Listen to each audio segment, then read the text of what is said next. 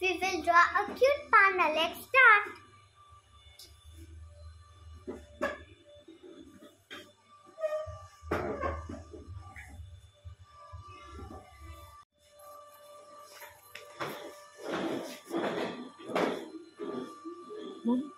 It is done.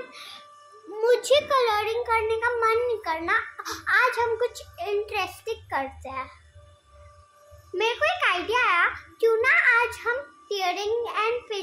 करें चलो करते हैं। और ये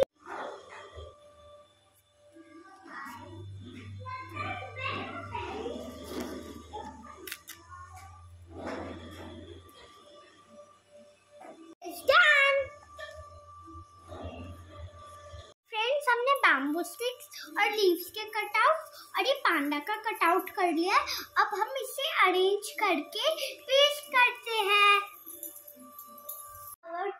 red panda is ready.